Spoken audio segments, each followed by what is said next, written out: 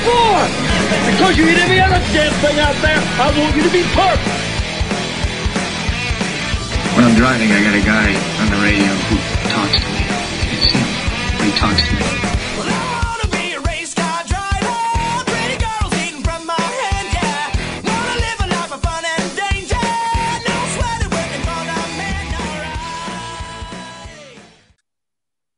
Good evening, race fans. Welcome to the Whoobazoo Radio Network and welcome to Drafting the Circuits.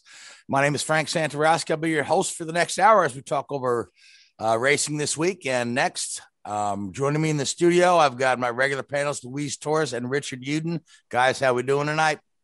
Good, thank you. Almost April. It's almost April. Yeah, April Fool's Day tomorrow. So you might be fooled, might still be March. Uh, you never know. Um, uh, we've also got a special guest waiting in the wings. I've got John Oreovicz, writer, author, journalist. Um, John has a very, if, if you've followed racing over the last 20, 30 years, you know the name John Oreovicz. He's written for ESPN, he's written for um, Autosport. He's, uh, he's, he's had contributions to the uh, Indianapolis Motor Speedway race program. Um, he's worked with uh, Pac West, and he's got two new books on the market. The, one of those is called Time Flies: The History of Pac West Racing, and then the new book, which was going to come to press, it's coming to press May fifteenth, I believe, is called Indy Split. Now, John, welcome. Hello, Frank, and thanks for allowing me to join you fellows tonight. Well, it's great to have you on. Before we start talking about your book, I'll just knock out the racing headlines uh, real quick. Um, Bristol Dirt, um, nearly a failed experiment with uh, with the weather that we saw on Saturday and Sunday, but they did manage to get the race in Monday. Opinions are split on whether it was a train wreck or, or whether it was fun to watch. I thought it was fun to watch. At the end of the day, it was Joey Logano uh, taking the win there, and earlier in the day, the trucks uh, Martin Truex um, won the truck race there. Uh, Formula One, uh, same old, same old. Uh, Lewis Hamilton winning the race, but uh, it wasn't easy. Uh, it's quite obvious that uh, Max Verstappen is ready to come after Lewis this year, not make it quite so easy. I mean, we're used to seeing Lewis Hamilton listed as the winner at the end of the day, but uh, it was not a given, not a given for sure. And we'll get we'll get into that later on. Uh, but John, let's talk about the book Indy Split. Now, this the topic of the split is it really this many years later it's still a very sensitive subject for some folks. You can reactions range from total disgust to anger uh, to you know people that feel like they still need to take a side after all these years. Now uh, john you and i are close to the same age which means that we both lived through this thing. We're both old enough to have started watching racing in the 70s uh, before the first Indy split. But um, your book doesn't just cover the split, but you kind of uh, uh, you pick it up right about uh, 1945 when the Hulmans buy the Speedway in the first place. No, that's that's right, and it's sure the focus of the book is on the so-called split, which is what people referred to the the clash between uh, CART and the Indy Racing League between 1994 96 up to 2008 but to tell the story of of why that happened you have to tell the story of the the 1979 to 1981 split between cart and usac the original split as it were and and the fact that it didn't get resolved properly. Uh, it just kind of hung in the air for 15 years until the irl kind of uh, dropped a bomb on it and kind of blew it out into the open. Um, but to tell the story of the 79 split you have to really explain the philosophical differences that led to that, uh, which means going back to the rear engine revolution in the 60s and and USAC's governance of the sport in the 70s, which led to the dissatisfaction amongst the competitors and the reasons that CART was formed. The rear engine revolution in the 60s was the, the philosophical conflict, almost the Democrats versus Republicans, if you will, of, of IndyCar racing. So you, need to talk about the rear engine revolution. You need to talk about the Hulmans gaining power through forming USAC. And so ultimately, ground zero, the day where it all begins, is the day that Tony Hulman bought the Speedway in November 1945. Uh, the Holmans didn't set out to run IndyCar racing or govern the sport, but they ended up in a position where the, the responsibility almost fell into their laps. And they just there was always kind of an une- uneasy relationship with the competitors. Certainly, starting in the '60s, once Lotus and and the rear engine folks came in. All right now, you mentioned the the USAC. Um, now USAC was its own entity, uh, but but you kind of alluded to that uh, that the Hulmans kind of controlled USAC. Well, the the sanctioning body for the Indianapolis 500 and most forms of American racing Correct. was was the AAA, the Auto Club as we know it now. Uh, they had a, a competition board that that started sanctioning the Indy 500 in 1911, all the way up through 1955. And in 1955, it was a terrible year for racing. Uh, Alberto Ascari got killed, the great Formula One champion. Uh, Bill Vukovich, who had won the Indy 500 the previous two years, was killed during the Indy 500 while leading in 1955. And then, of course, there was the the 24 hours of Le Mans tragedy where the Mercedes went into the crowd and killed 80 people. So the AAA pulled out of racing at that point and as an immediate result of these events. And Tony Hulman, given the fact that the sanction for the Indy 500 was going away, Tony Hulman took over sanctioning responsibilities. He formed USAC, or he was certainly one of the key people uh, in forming USAC. He put up the seed money. The Speedway provided their offices in downtown Indianapolis. And from that time on, from 1956, um, honestly, up through the 90s in the IRL, the Speedway and USAC were intrinsically linked. They were, you know, they they weren't they were one and the same. There was very little separation between church and state there. You know, kind of like the current situation we have now. We've got the, the owner of the Speedway still is the, the owner of, of the series. Yeah. So And and and the you know they they're located across the street from each other here on 16th Street, and they still might as well be 5,000 miles apart. Yeah, absolutely. Now, when we talk about cart, I mean, I, I vividly remember the the the the cart opening up. And when I went to one of the first cart races uh, that was held uh, at Watkins Glen in 1979, and I was I, I was fairly much immediately impressed with the cars themselves. Prior to that, I had been to the Formula One race uh, out there at the Glen, uh, and I'd been to a couple sports car races at Lime Rock. Uh, you know, go to the Formula One race. I didn't meet a single Formula One driver, right? I went to this CART race and, and I met nearly all the drivers there. And this is me as an 11 year old kid thinking this is just phenomenal. So I was kind of hooked on that.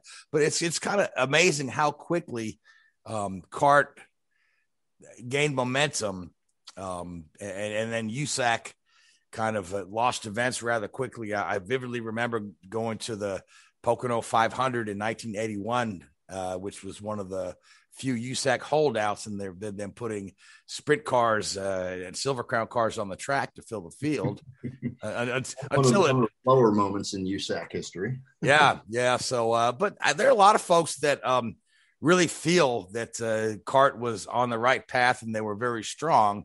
But but behind the scenes, uh, you know, there are a lot of folks that will tell you, and I'm of this opinion too, that they were horribly mismanaged, uh, and because of their kind of management by committee. Would would you agree, disagree, or I mean, they were almost successful in spite of themselves in the 80s. Um, what made Cart successful is is is they benefited from the, the failure or the end of the the new Can Am series. So they got a bunch of teams like Newman Haas and Green and Forsythe and the likes. They also, as these races in Formula 5000 and the Can Am went under, these tracks, Laguna Seca, Mid Ohio, Road America, they needed to pick up events. So it all kind of came together magically for CART in the 80s. They picked up the Long Beach Grand Prix when Formula One decided not to run there anymore. Um, yeah, ditto, what- ditto for Detroit. Hey, well, that's we don't need to mention that. That wasn't one of the more glorious street circuits. Yeah, But what, what you ended up with with CART in the 80s and into the 90s was you ended up with this fantastic mix of, of the best of Formula One with higher technology cars, with international stars, Emerson Fittipaldi, Nigel Mansell, Teo Fabi, uh, going up against the best elements of, of traditional IndyCar racing, oval tracks, Indianapolis, Phoenix, Milwaukee, Pocono, uh, the Unsers, the Andrettis, Bobby Rahal, Rick Mears, Danny Sullivan. And so for this fantastic period um, in the 80s and into the 90s, CART was the best of all worlds of American racing and international racing. And it was reflected. The grandstands were packed. The sponsorship was, uh, you know, it was huge. Um, and unfortunately, it just didn't resonate with Tony George and what appeared to be a dwindling traditional grassroots oval track fan base. Right, which is essentially the reason why Tony George wanted to um, branch out on his own, flex his muscle, if you will. But I mean, you can argue that um, you know CART uh, is no more, so therefore they were the loser of the split. But if you think about it, Tony George's vision of an all oval series that would help American circle track drivers get to the Indy 500 is also dead in the water. No, that that didn't that never happened, and it was. I'm sure it was a. I'm sure Tony meant well, and it was it was genuine, but the bottom line is is that the the ship on USAC drivers becoming IndyCar stars sailed in the 70s. Uh, you know, honestly, you look back to that great generation of drivers of of the Unsers and Mario and Foyt, Gordon Johncock and Lloyd Ruby and all those, all these guys that came out of USAC in the 60s. USAC really didn't produce any major stars in the 70s. Um, you know, Pancho Carter, no disrespect, but um, you know, he, he wasn't exactly Al Unser or Mario Andretti. And and this systemic failure, you could possibly trace it to when USAC dropped dirt races from the so-called championship car schedule in 1971. They dropped road racing at the same time. Um, so there's there's there's a lot of reasons for it, but there was this disconnect between um, USAC grassroots racing and the Indy 500. And Tony George, one of his stated goals was to protect oval racing and grow oval racing and grassroots racing. And and maybe it was genuine, and I think it was, but it just it was it was never going to work. It had already failed during the CART era for 15 years, 20 years up to that point. So I don't think it's a surprise that it didn't happen. And there were a few guys that slipped through the cracks, Tony Stewart being the obvious obvious example. But in general, that part of the IRL experiment didn't work. And, and uh, to this day, the the USAC series. They're they're the feeder series for NASCAR. Yeah, if you want to uh, race in the Indy 500 one day, you're much much better off starting out in shifter karts and then going to like the SCCA and Formula V or Formula Ford, maybe doing a Skip Barber and going up that way, um, and really you know learn that. And that's where that's where the guys come from. Even even these guys that go spend a couple years in Europe, um, they're coming back with great skills. Um, but but the interesting thing about the CART era, um, at, at, that time, the uh, say the the '90s, you know, prior to the split, CART was a legitimate springboard into Formula One, which is something that does not exist today because the cars are so wildly different right now than they were. But if you if you look at uh, you know like, like Michael, um, Jacques Villeneuve, uh, Zanardi, um, Montoya, um, da Matta, all those guys jumped right from winning the CART championship into Formula One. But now it's like now there's so much more of a disconnect between the the Indy IndyCar series and Formula One.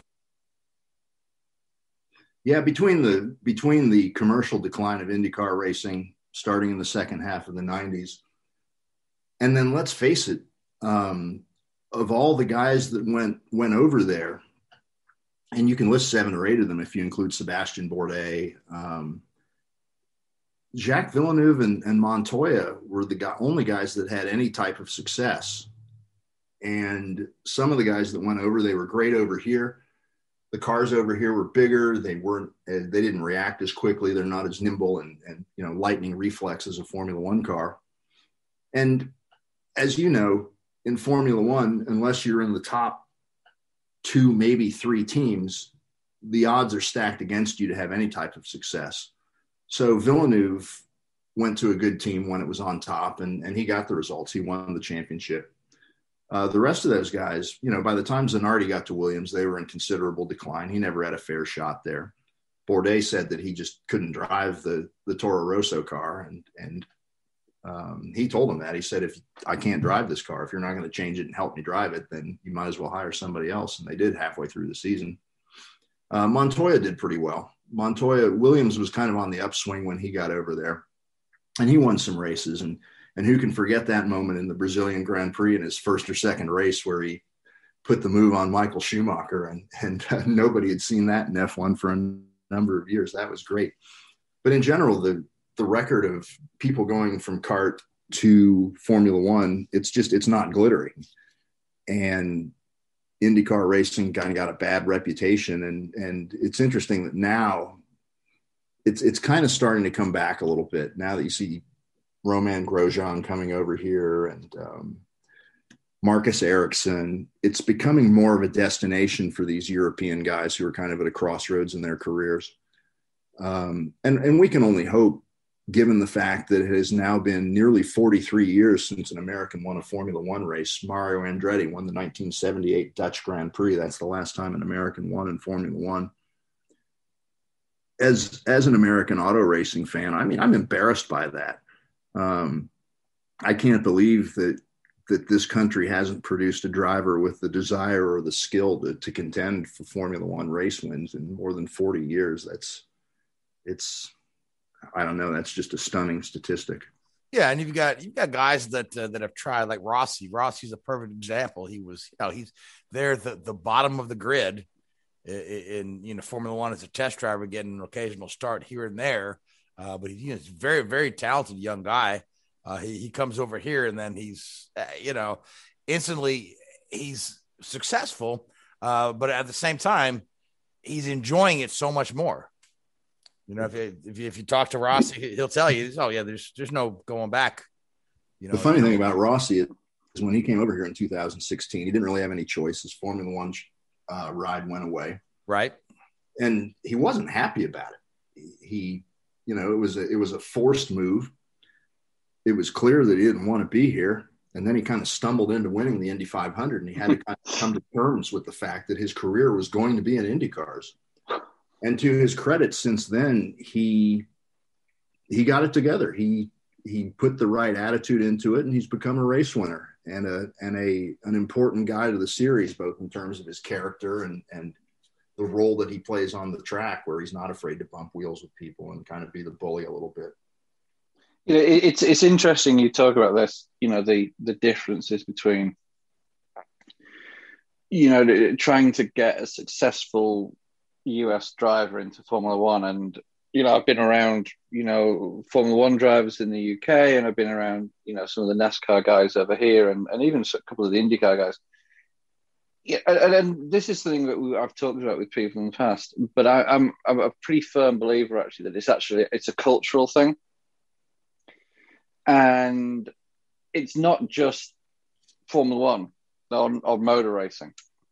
It's sport in general in Europe is run and managed very very differently to what it is in the US. Now, you're starting to see it a little bit more in um, NASCAR and IndyCar in the US. But take, you know, football, and I'm essentially the American football here. You know, you guys go through high school, go through college, and then they turn professional at 21, 22. And that's pretty much similar with all sports in the US. Now, in the UK, for example, our footballer, soccer, if you're not professionally signed up to a team at 12, 13 years old, you're never going to be successful. Now, you look at guys like Lewis Hamilton, they were well known in the racing circles at 12, 13, 14 years old. And they were being pushed into that mentality and that work ethic and that exposure that to a certain extent is you don't see that here now you're starting to see that I think with um, uh, um, um, and um, Herta's kid in IndyCar now. It's starting to get that way where you're seeing these young kids. But you know, you look at guys like Max Verstappen. He was Formula One driver at 17 years old. You know, and undoubtedly, you know, a, a, phenomenal talent at that age. I, I, think that mentality in the US has to change for, excuse me, for them to become successful in Europe and, and really go, go after it and be 100% committed to the sport in Europe because in Europe, as a kid, you will be associated to a professional sports team and they will provide you your education.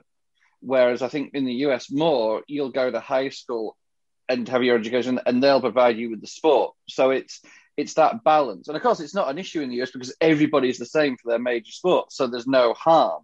But in Europe, it's a lot more competitive. And it, it, it's interesting looking at that cultural difference there.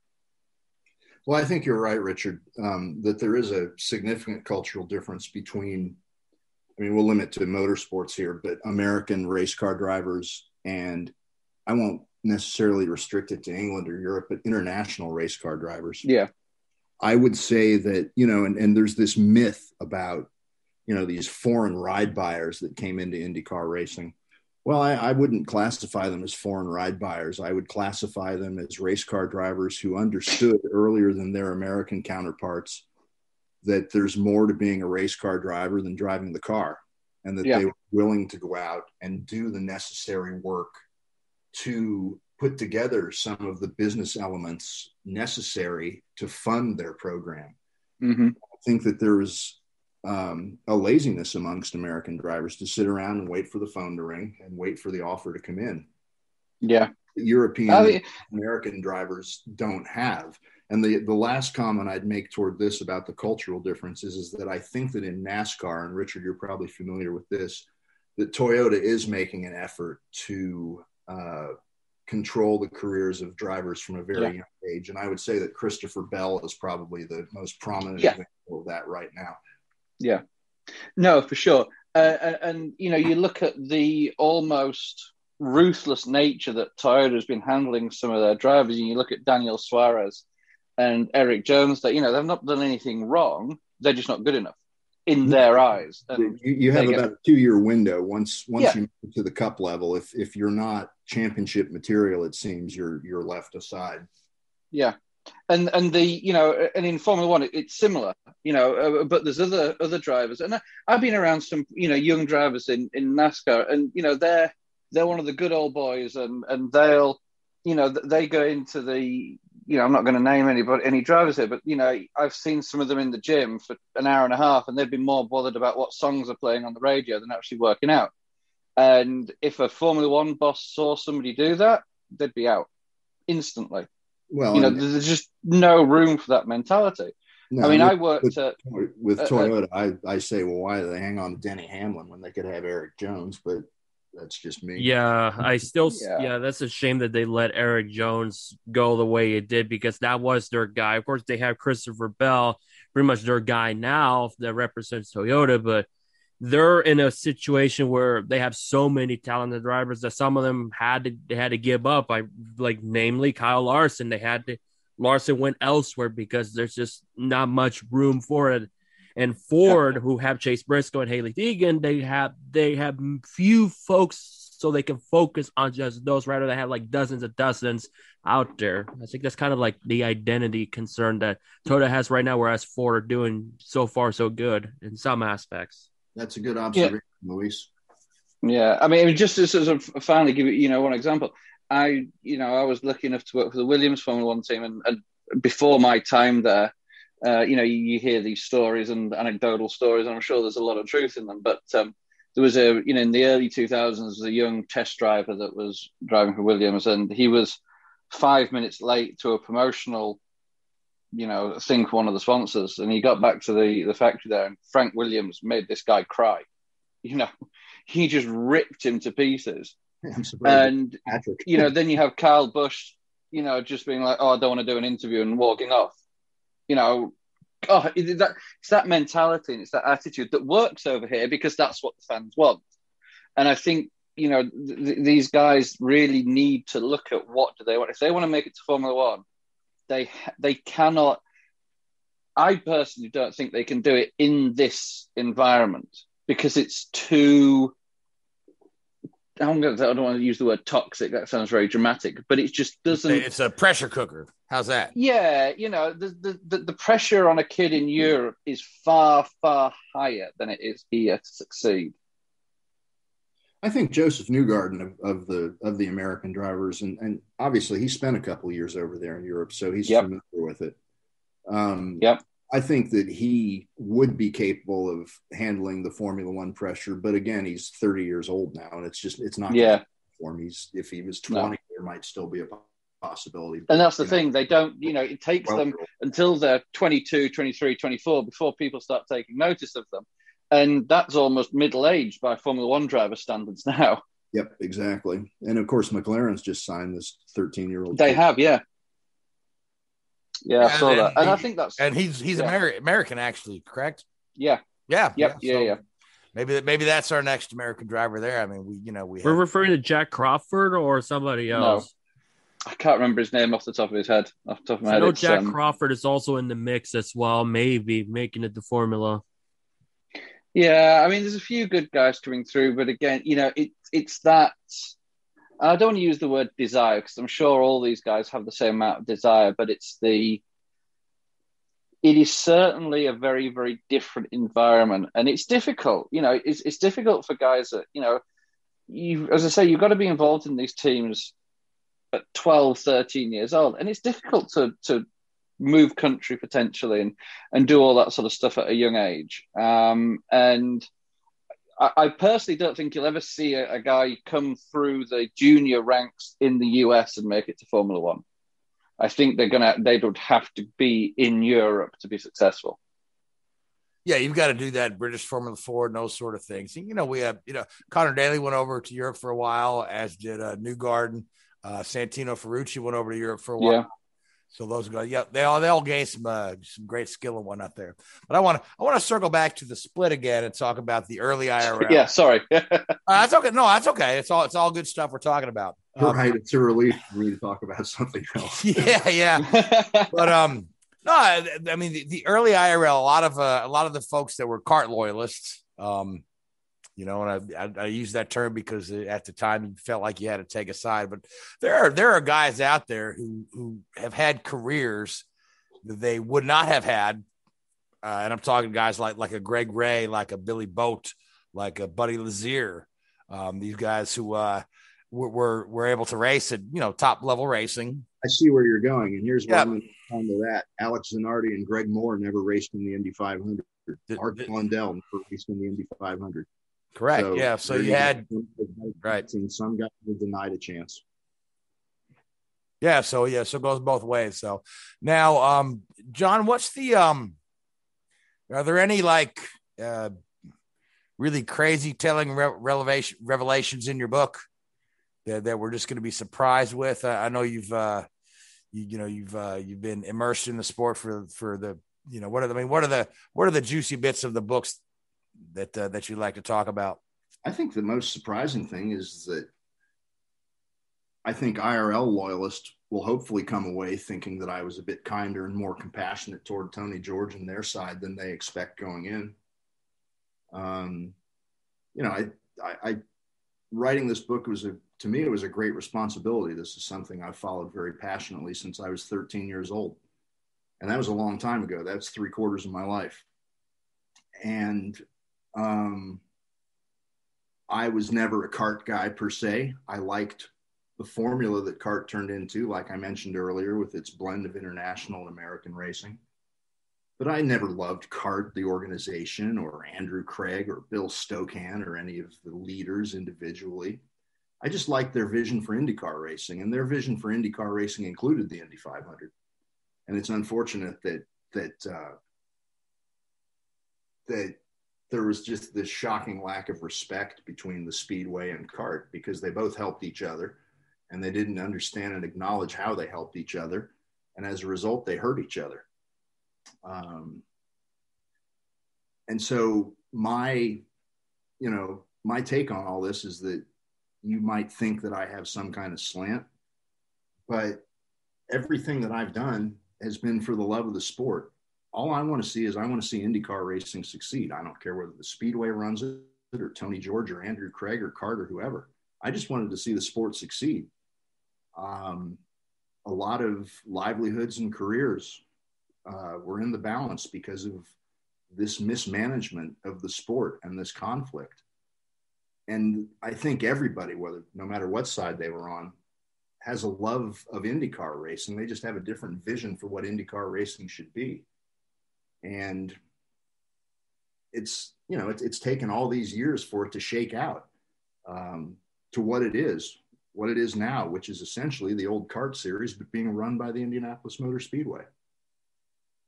Yeah, it's it's funny how we've almost gone full full circle there, but uh, I am looking forward to reading your book because for for what you just said, like there's no slant. I've always found your writing in particular to be quite balanced.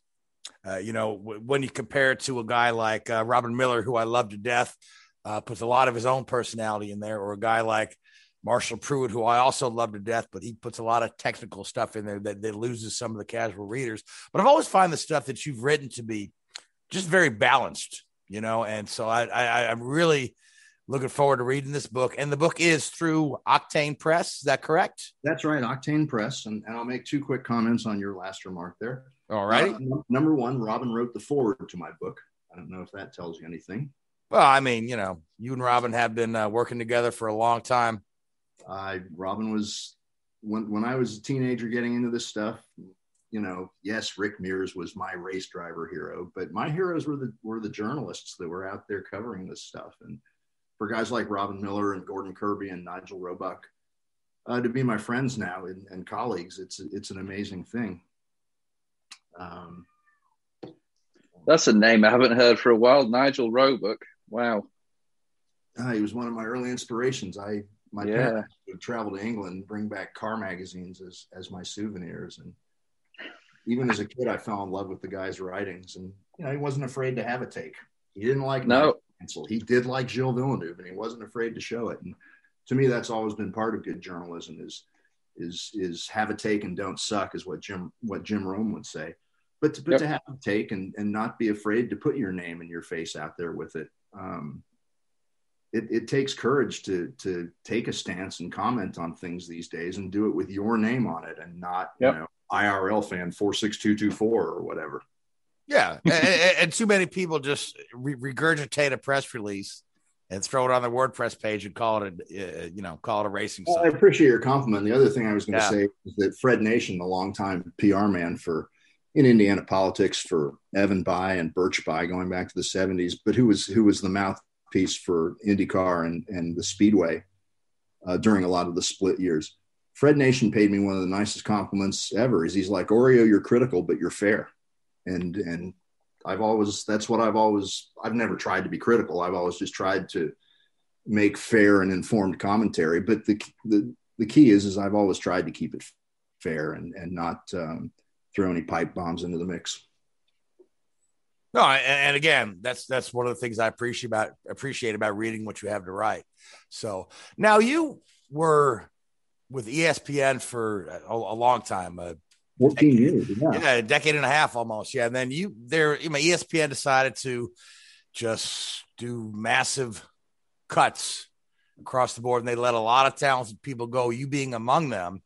So is the the you know spare time you had on your hands was was that the impetus to really uh, dig into writing these two books, or or have you always had in the back of your mind uh, that you were going to do these books at one point in time?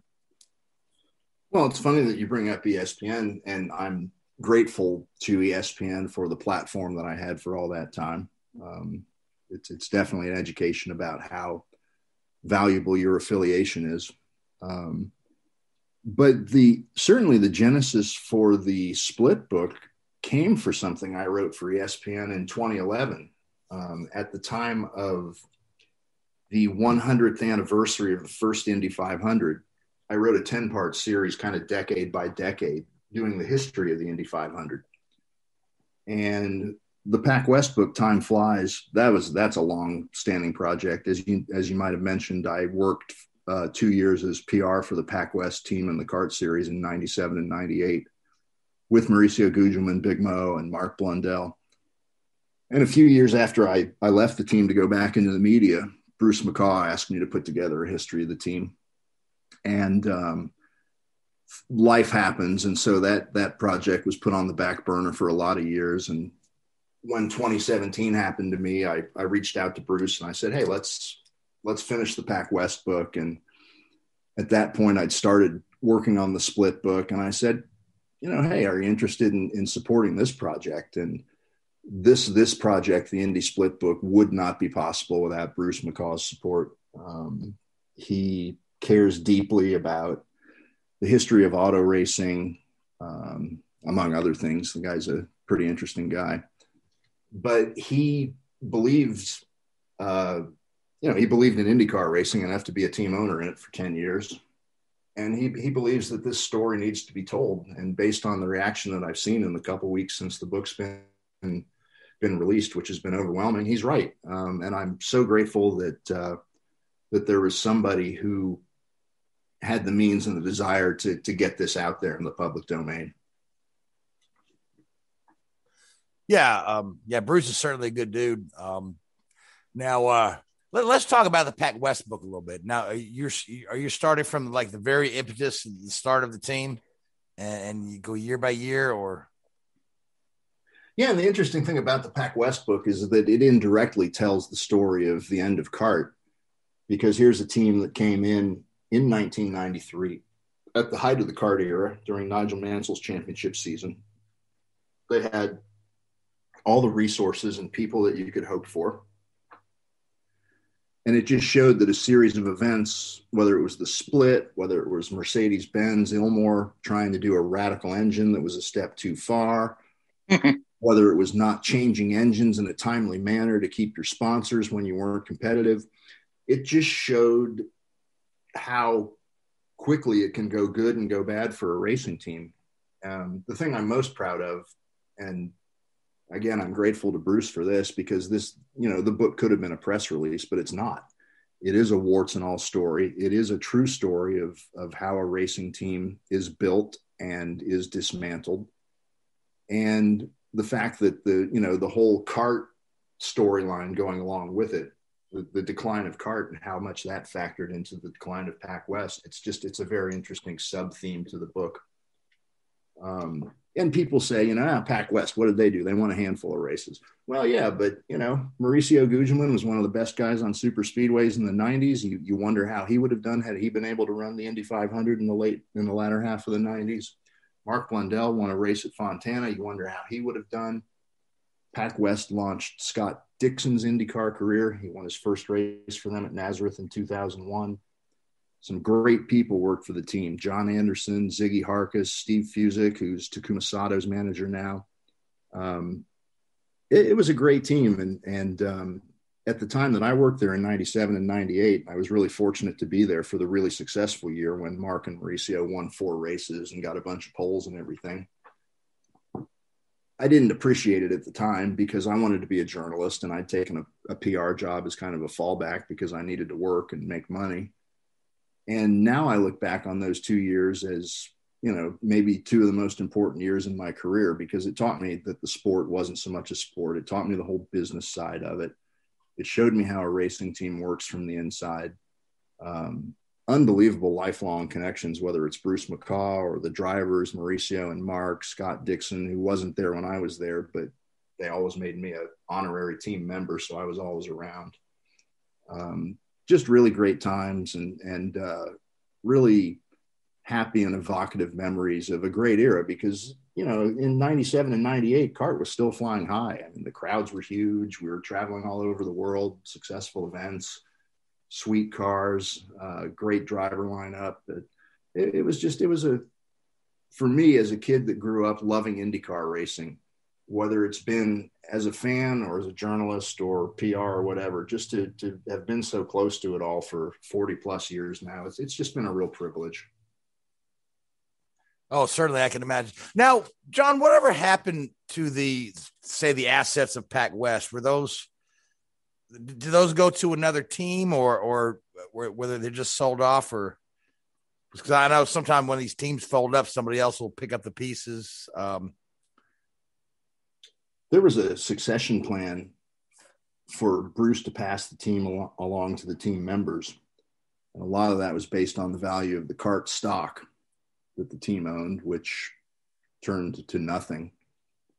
The assets ended up with uh, Russ Cameron, who was the team manager for Pac West in the latter years. and Russ ended up teaming up with Kevin Kalkoven and Craig Pollock in 2003. So Pac West actually turned into PK Racing, which turned into PKV Racing, which turned into KV Racing. So the you know the the lineage of Pac West, you can you can take it all the way up to 2016 or 17, I believe it is, and Tony Kanaan won the Indy 500 for that team. Um, Sebastian Bourdais won several races for them. And the whole time up until uh, Kalkoven pulled out in 16 or 17, they operated out of the old building that Pac West built up on the northwest northwest side of Indianapolis. So it, it did kind of carry on. Uh, the legacy of it did carry on, um, you know, notably through KV Racing and Scott Dixon. Oh, for sure. Yeah. I mean, I, w- I was at Dixon's win in uh, Nazareth and I was like, well, who's this kid? but uh, yeah, we all know who he is now for sure. So now, Richard, Louise, you have any uh, any questions for John before we start talking about the races this weekend? Yeah, the one that I had in mind was when you guys were talking about the Americas, it's like in the F1, having won in over four decades, and also just the the split in general from the the late seventies. Where do you just simply stand where about the title sponsorship ordeal? Because of course Marlboro was there, part of the championship trail, and then Viceroy kind of send Marlboro packing straight to Formula One, sponsoring drivers and teams. You felt like had that relationship continue on and none of the whole Viceroy thing caused so much friction, maybe it would have grown the sport because I've heard many people say it would have easily grown the sport further. Well, you've done your homework there, Luis, um, and that that is covered in one of the early chapters in my book here. Oh, nice. Um, at the same time that Winston came on as the title sponsor of the NASCAR Grand National Series, which was renamed the Winston Cup in 1971. Marlboro sponsored the USAC Championship Trail. And then one year into that, as you correctly pointed out, Viceroy, and, and you know, who smokes Viceroys these days? Um, Viceroy cigarettes came in in a, in a big splashy way as the sponsor of Al Unser and Mario Andretti uh, in a team affiliated with Parnelli Jones and it, it forced Marlboro out. Marlboro believed that contractually that no other tobacco company could come in, and, and USAC didn't stand up for them, and as a result, Marlboro left. And Marlboro came back, and it was, you know, ironically enough, given all the talk about foreigners and all that, it was Emerson Fittipaldi who brought them back. Um, Emerson Fittipaldi had a relationship with Philip Morris International through his uh, Formula One years with McLaren, and then as a personal services deal up until he, when he retired in 80 or 81. But he maintained his contacts with Philip Morris, and when he got serious about an IndyCar career uh, in '86, it was Emerson Fittipaldi that made the Philip Morris USA sponsorship happen, and then of course he took it to Penske in 1990. So I do think that that's a very significant event. It's you know it's it's a footnote. Obviously, it's a very small thing, and and that's why this is a 450 page book that's just full of thousands of these little things that that hopefully I haven't forgotten too many but this is an important one. Um, IndyCar potentially had really, really amazing support. I mean, by the end, Winston was spending, I believe the number was $17.5 million a year on NASCAR.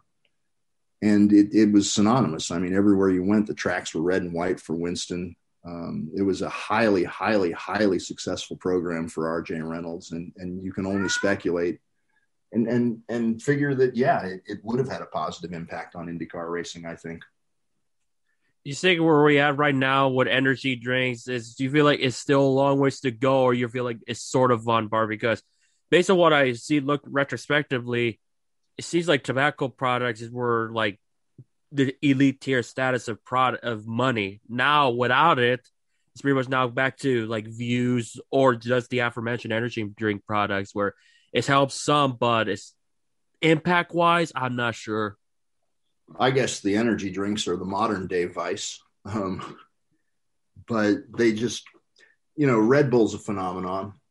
Monster's been pretty successful in this country, but I don't think that they have the the bankroll that, that the tobaccos companies did. Certainly in their heyday, when when mm-hmm. everybody and their brother smoked. Right, and, and, and of course, you know, motor racing was one of the few avenues that, that tobacco companies had to get their name out there. They're you know banned from magazine advertising and um, you know, television advertising. So Yeah, but it, this day and age, a lot of the you know a lot of the sponsorship you see are these business to business deals. You know where they're Mhm. not they're not necessarily marketing a consumer product. And but oh, I hear your cat, John. Yeah, he's he can be a time. Sorry about that. Oh, that's okay. Well, his name's Baxter, right? Now Baxter's Baxter's departed. This one's um, he, he came to me as Clayton. He was pre-named. I call him Clay after Clay Regazzoni, one of my early favorite race. Oh, nice. I love Clay Regazzoni. Yeah. So, um, uh, totally lost my train of thought. Thank you, Clay. I'm, I'm the I'm the 12 year old, I'm the 12 year old kid in Indianapolis in 1977, the only person in the joint cheering for Clay Regazzoni. Yeah, yeah. So, but yeah, I mean that you know tobacco money is long gone, and these these different sponsorship deals are, and, and every now and again you find somebody who's annoyed that uh, cars have a rotating livery. And this is this is true. Mhm. This is true in NASCAR as well as IndyCar. But I mean, that's that's the business model that you need to pay the bills. Nobody wants to shell out, um, you know, the amount of money you need to sponsor two cars with matching liveries for a full season. Uh, so you so you Mm, so you thread why the- don't they? Huh? Why don't they? You say nobody wants to do it. Well, Well, you're I, getting pretty close with some of the teams, like Penske, for example. But why don't you see that with some of the smaller teams? because they're not getting their bang for their buck Exactly. uh, in with motorsports because yeah. ratings are on the decline. Uh, Formula you know, One have to go this way. You're going to see it. Formula It- One held fast against it, but it, it's going to happen. It's it's going to creep into Formula One. You I, are. I, yeah, I, I mean, I I agree remember- with you. Yeah, you are allowed a certain amount. I remember, and I don't know if it's changed recently, but I remember when I was with um, BAR Honda in the early about 2005 or six. You know, we'd go to China with a special livery for the Chinese market with the cigarette branding. Well, you know, triple it was, five it branding. was BAR that sparked that whole thing when they first. Yeah, when they had the two cars, yeah. car. Yeah, Yeah. And but I mean that wasn't changing throughout the season. And I, I you know, it sounds silly, but I think it does fundamentally impact the viewing experience. You know, you watch a Formula One race and you can watch the first race of the season and the last race of the season, and you know who you're looking at. You know, you know the Mercedes are silver or black or whatever it may be, and the Ferrari's red and McLaren's, you know, the papaya, um, uh, and all this sort of thing. But you watch a NASCAR race, and it's like going through a pack of Skittles trying to work out who you're watching. And IndyCar's not as bad, but NASCAR's really bad with that. You know, you lose that driver identity and that recognition. And I think that's a really dangerous thing. And I, I wish it wasn't like that.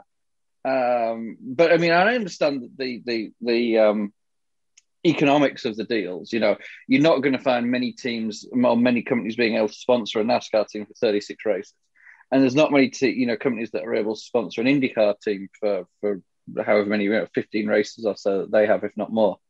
Um, and I've been, you know, and we've spoken about this on this, this show before, and I, I think that the Indy 500, in a way, uh, is sort of um, a blessing. You know, it's sort of a curse in a way to the uh, IndyCar series because there's so much attention and so much emphasis put on that one race that it sort of detracts from the other races a little bit.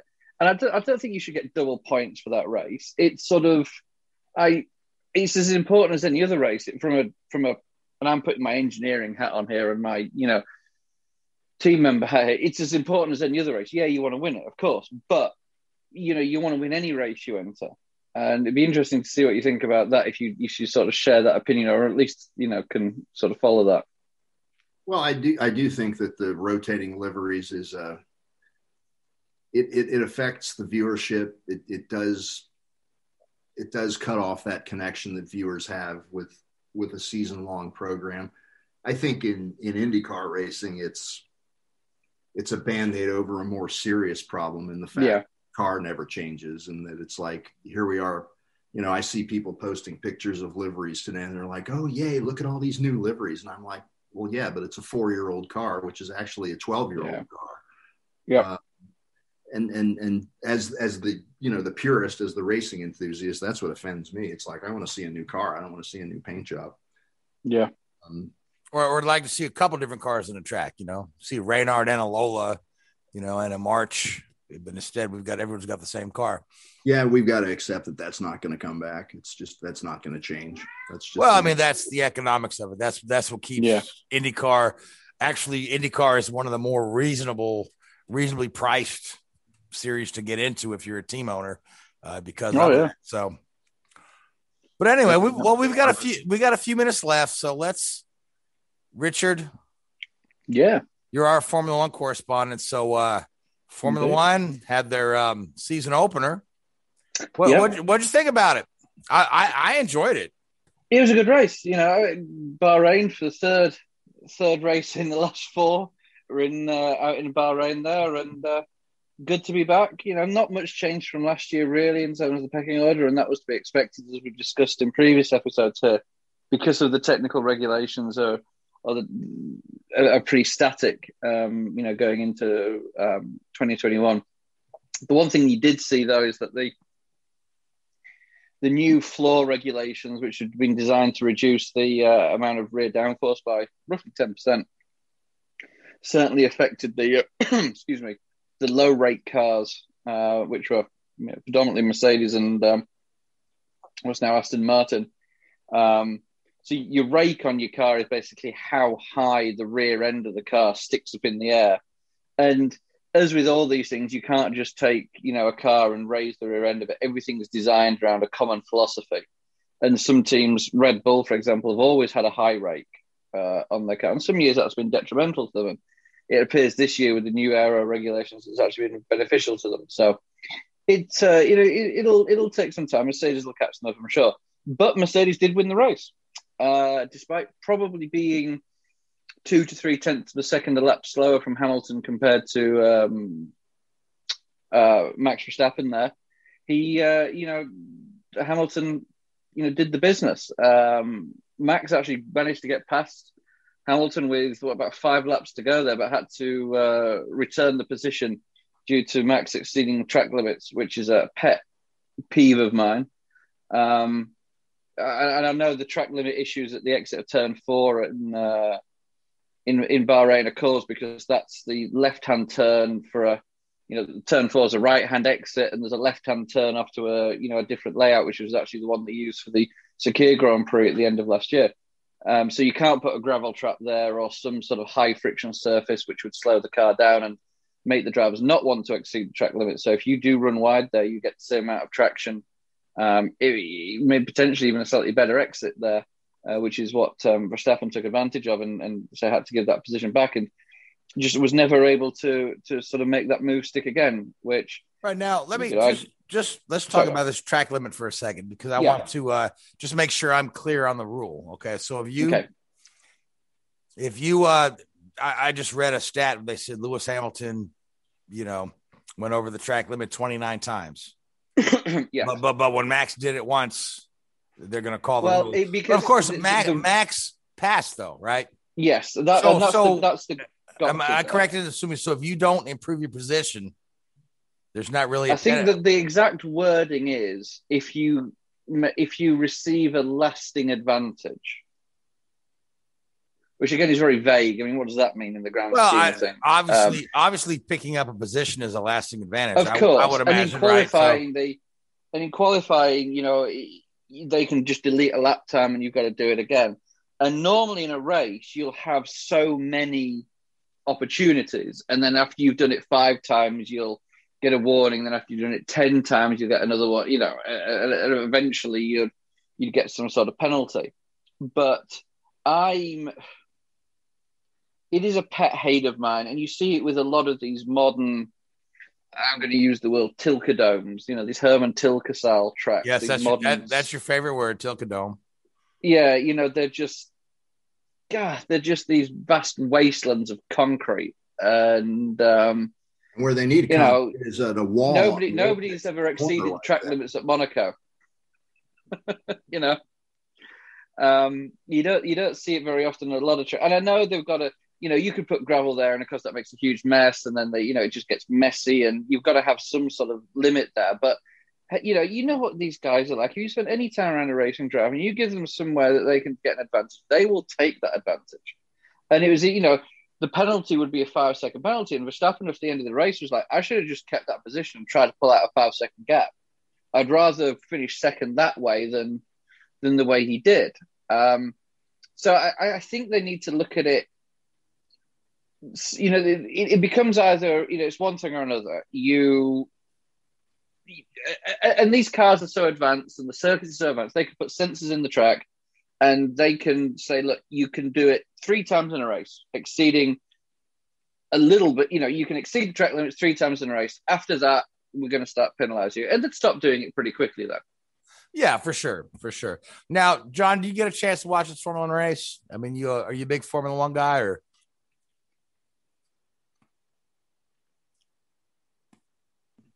No, uh, yes, I did. Formula One is what got me into racing when I was a kid. Yeah, you and I both, I right? admit that in the last, certainly during this Mercedes era, I've lost interest. Um, it's the Tilkedromes and the same car and the same driver winning every race.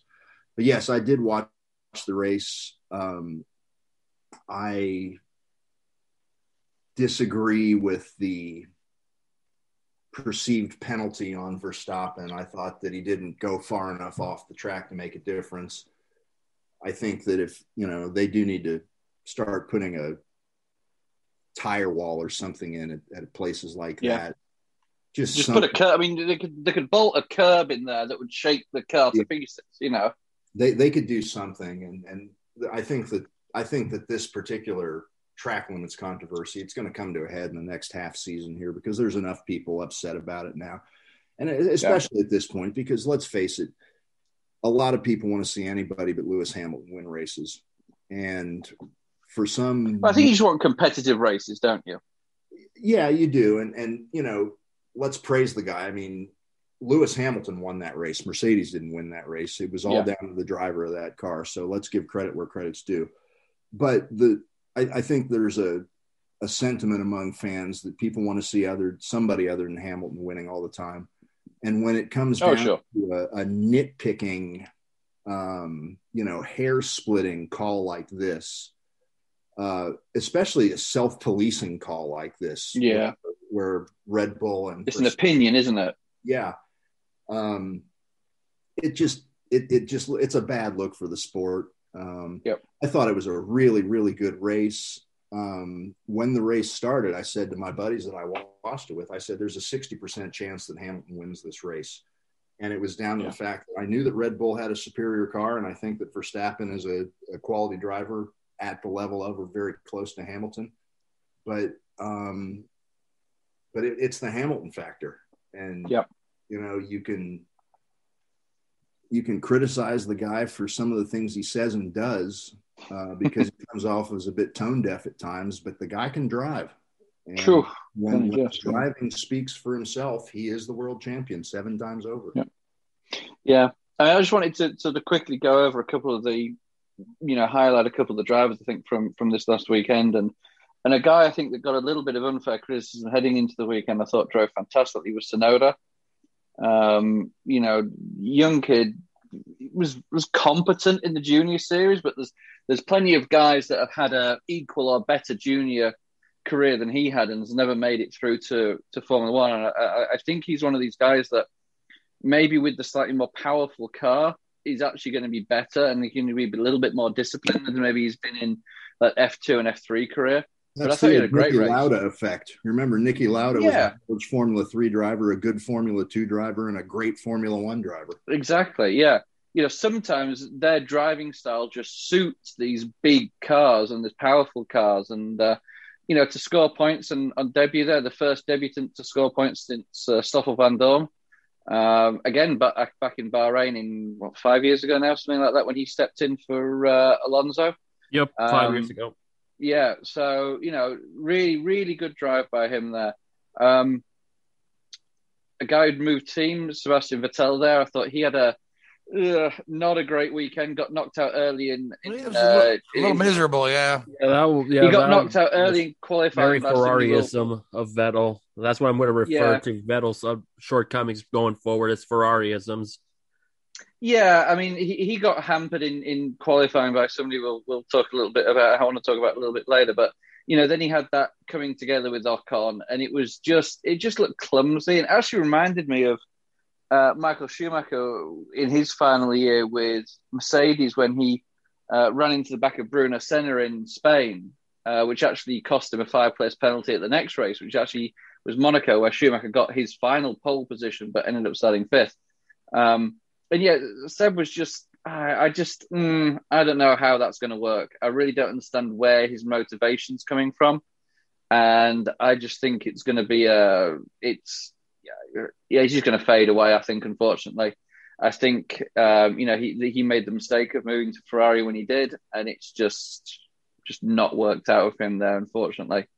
Um, but then you know another guy I thought had a had a great race on the on the counter side of that was Sergio Perez.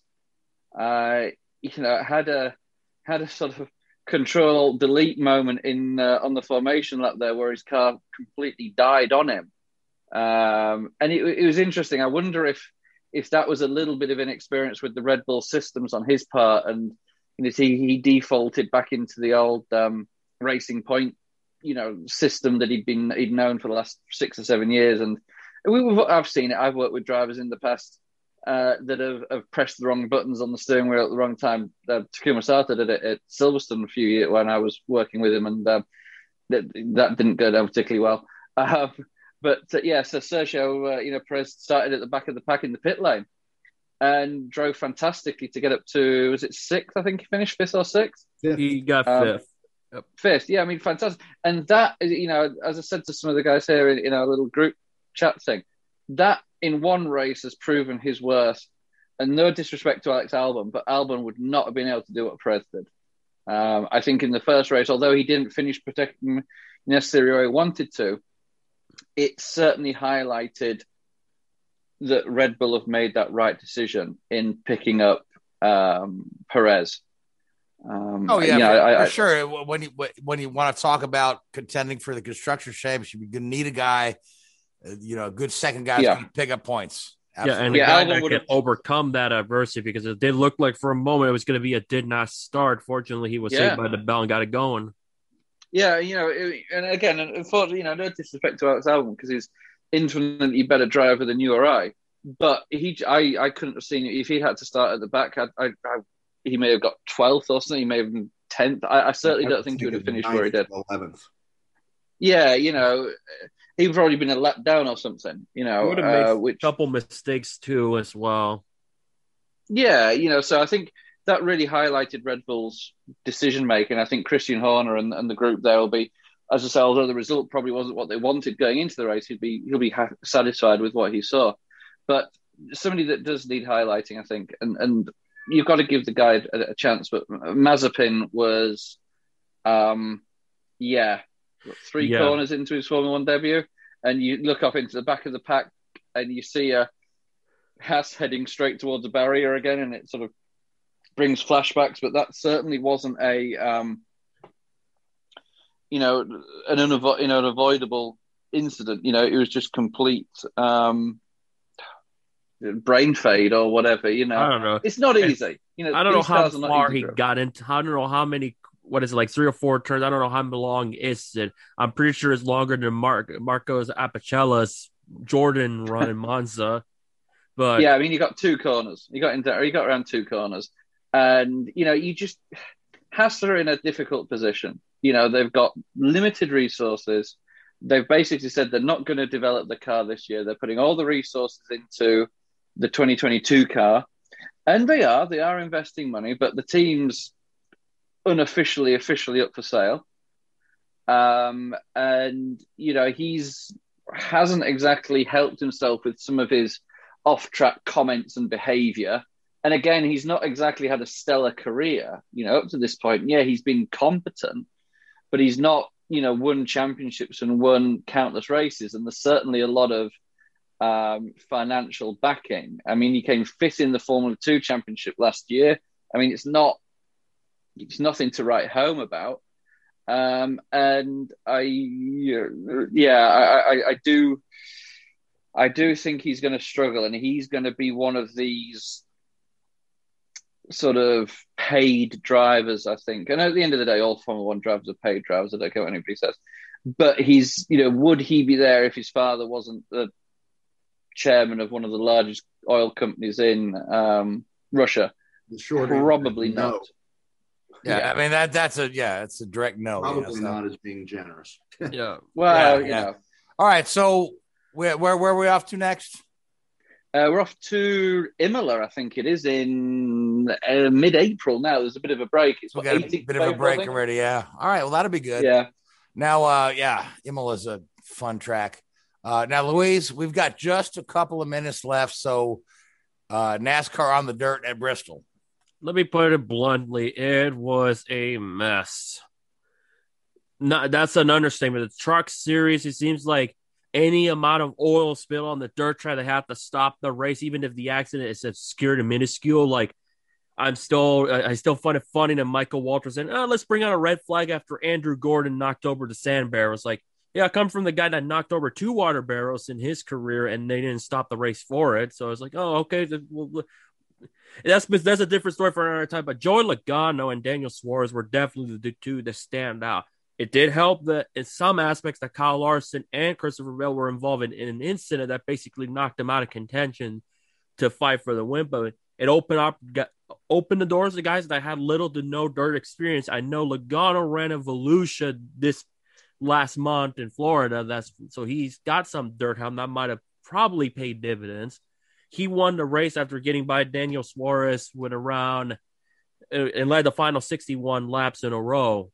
And that and finally got that monkey off his back because Logano was a half a lap away from winning the Daytona 500. And after that, he's just haven't been able to capitalize on winning until now. But Suarez and that trackhouse team, and I've said this multiple times through social media in the back of my head.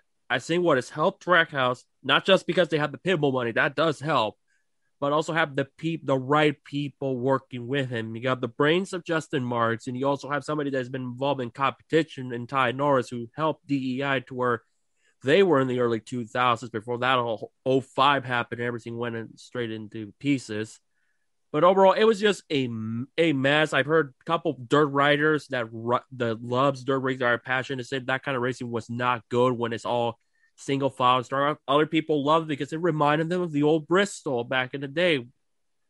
For me, it was just a mess, and I just hope in next year's dirt race they get it together. They improve on how to manage a dirt surface because when they when it rain on Saturday, and when- they try to run that half a lap in that truck heat race, they had a lot of they had a lot of improvements to make. Well, that, that that was that was rather embarrassing when they tried to put the trucks on the track and then one lap in, Yeah, nobody's got a windshield they could see through. Yeah, yeah, that I was mean, I mean, bad. again, it's you know, it's still a it's it's a work in progress. NASCAR has announced that Bristol Bristol will be on dirt again next year. So uh, with this current car that we have right now, they may have that may be the only race we'll see the Gen Six car. That's what's being rumored. all right, so we are just about out of time. So where are we off to next in NASCAR land? Next week, not this coming weekend, but the Right, weekend yeah, East, East, Martinsville. East, Easter Sunday's coming up in March, and they're going to test rain tires at At Martinsville. At Martinsville this week, it'll be interesting to see if a flat oval can sustain a damp track. Um, again, you know, it's just more of trying to get the show in, but uh, I'd be interested to see how the uh, the test goes with rain tires in Martinsville. I mean, Yeah, I Martinsville. wonder. I wonder how that- that's going to work, and that may be why they put pavement on that little grass that they had left in Martinsville. Because remember, Martinsville used to have plenty of grass, yeah, yeah. and now there's no grass. That upset at people because it did had a unique style. But after what we saw in the Xfinity race, where somebody slid into that grass and poured dirt all over turn three, I get it, but it. That's a different talk for another time as well about how people feel about that payment, the new payment they added in the rumble strip. Yeah, yeah. I mean, Martinsville. Martinsville's my old stopping ground. When I lived in Virginia, back in the back in the eighties and nineties, I would go to both Martinsville races every year, and I always had the best time. I always really just enjoyed the Martinsville races. So, uh, but anyway, so John Oreovicz was our guest tonight. John, I want to thank you for coming on. Uh, again, the book is called Indy Split. it's available through Octane Press. Uh, the other book is called Time Flies: A History of Pac West. Is that is that also through Octane? You can go to johnoreovicz.com and that's O R E O V I C Z. Um, and you can order it direct from me, and I will ship it to you, and I will include a signed book plate from myself and Bruce McCaw. Fantastic. All right. So now, John, we can follow you on social media. On you're on Facebook, you're on Twitter. Um, do you have any other Instagrams or any of those other things that those young people like? I am on Instagram as well, and I think my handle is Indy Oreo, just like it sounds. Indy Oreo.